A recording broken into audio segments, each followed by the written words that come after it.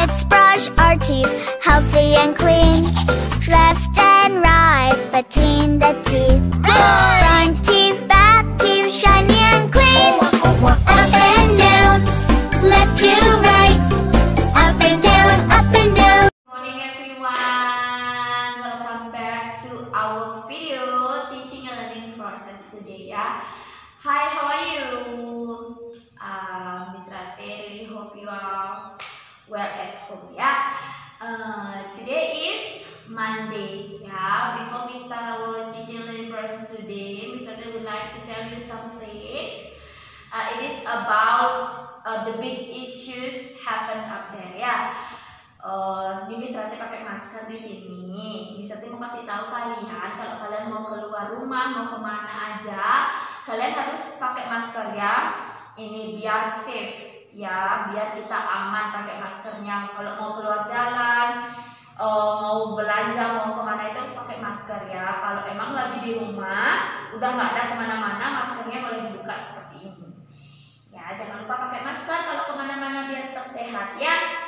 Jangan lupa juga 10 langkah cuci tangan yang disertai sama Miss kasih tahu kalian di sekolah ya. Harus cuci tangannya harus bersih eh, biar kumannya itu hilang.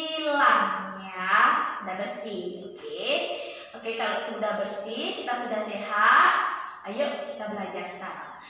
Eh, every single Monday we are learning about Indonesia. Ya kita Indonesian lesson. Kita belajar tentang bahasa Indonesia ya. Di mana worksheetnya itu baru. Kalian punya worksheet baru bukan uh, tracing the sentence lagi. Kalian tidak mau nebalkan kalimat tetapi karena udah semester 2 kita mulai tulis jalan ya nah jadi materinya itu ini A dan B ya Ya, di sini ada huruf A besar dan ada huruf A kecil, di mana kalian harus menulisnya di garis ya, dengan rapi. Ya, nulisnya di garis yang kecil, tapi tulisannya tetap rapi. Ini namanya tulis jalan ya, nak ya. Oke, oke, sudah. Ayo kita mulai. Oke, sebelum kalian mulai membuat worksheetnya, ayo kita isi nama dulu. Ya. Setelah isi nama, hari, hari apa? Ya, Manda. Mandi, setelah hari, tanggal, tanggal berapa? Oke, tanggal 6 ya. Bulannya bulan April 2020. Jangan lupa huruf besar di, di nama kalian di bulan, eh di hari dan di tahun ya. Sudah selesai, if you are finished, make this one. Oke, okay, let's be tracing first. Kalian harus menebalkan dulu huruf yang ada titik-titiknya ini ya. Ditebalkan dulu. Menebalkannya itu pelan-pelan, do it slowly. Kalau kalian rajin belajarnya, pasti tulisan kalian nanti lebih bagus. Nanti pada saat sekolah, dapat deh excellent terus. Kalau tulisannya udah bagus kan dapat excellent kalau tulisannya nggak rapi dapat apa? Iya dong dapat well done. Nah sudah kita tebalkan.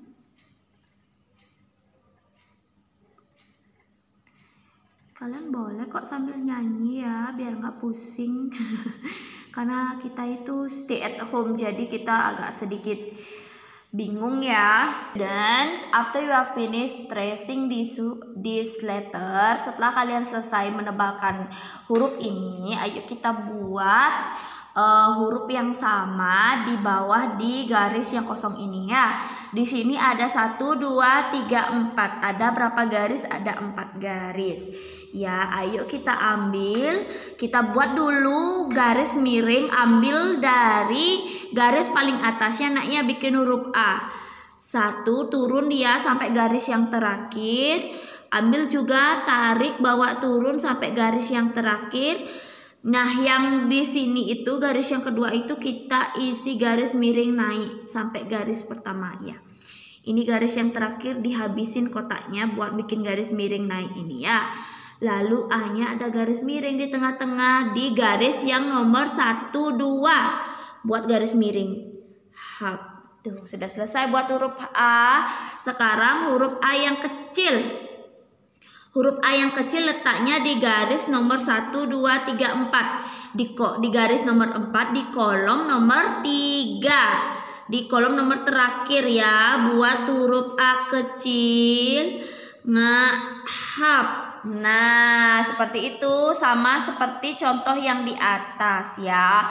Do the same thing with the example above.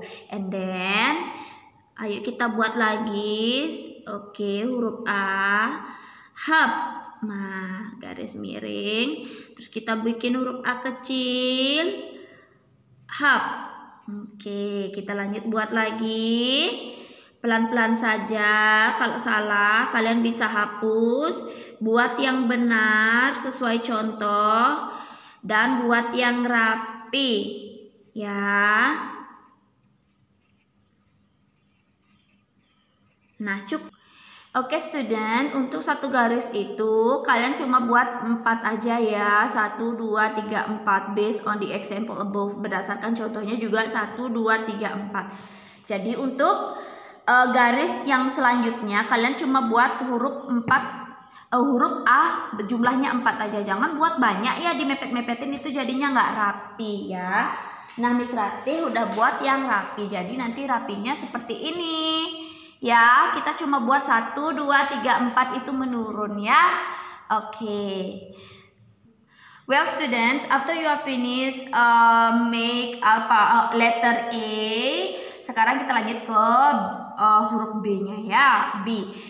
Yes, as usual, we have to write down your name. The the date, month, and year 2020. After you make this one, let's we do the same thing we tracing. Let's we tracing pelan-pelan aja ya tracingnya itu biar tulisannya rapi. Oke, kalau sudah rapi kan kalian dapat excellent terus. Kalau udah dapat excellent nanti bintangnya banyak. Oke, nah ini namanya huruf B kecil ya, buatnya agak susah. Maaf ya, nggak ada missnya, jadinya nggak ada yang ngasih tahu kalian deh di sekolah. Soalnya ini kan materi baru. Untuk ibu bapak, tolong bu nge, pak, diperhatikan pak nge, soalnya ini materi baru, jadi uh, kami mohon sekali bantuan bapak ibu ya support bapak ibu di sini sangat penting ya untuk anak, untuk kami juga. Tolong nih Pak nih diajarin nih gimana cara buat huruf B.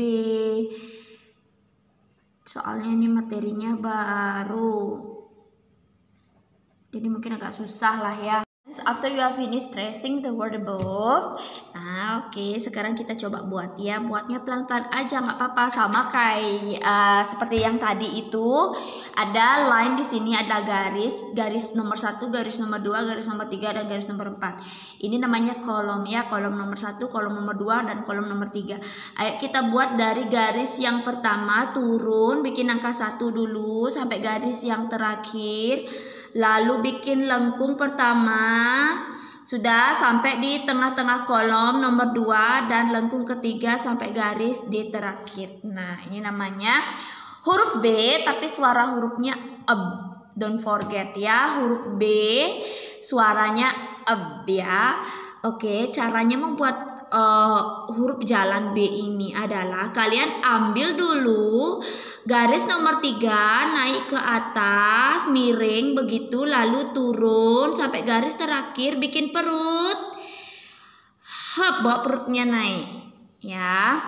Ayo kita ulang lagi bikin huruf B besar angka 1 garis lengkung 3 dua kali ambil dalam dalam garis nomor 3 naik melengkung dia seperti itu turun sampai garis terakhir bikin perut hop ayo kita buat lagi. Kita buat huruf B ke angka 1 seperti ini. Hop Ambil garis nomor tiga, lengkung, hap, bikin perut, perutnya ada kate, hap. Ya, bikin garis, angka satu, bikin huruf B besar, suara hurufnya B itu apa? Up, lengkung, naik, hap. Nah, jadi seperti itu cara membuatnya ya. Uh, sama seperti ang huruf A tadi kita buatnya empat aja ke samping dan ke bawah ya oke okay. oke okay, students that's all Indonesian lesson today. We are tracing the word and then we try to make it like this. Ya seperti ini ya. Uh, worksheetnya banyak ya. Ada dua worksheet ya. Okay, if you are finished make alphabet A and B means that you are finished to doing your uh, Indonesian worksheet. Ya, udah selesai buatnya. Oke, semangat ya di rumah. Semoga keadaan ini semakin membaik dan kita ketemu di sekolah secepatnya ya. Bye bye.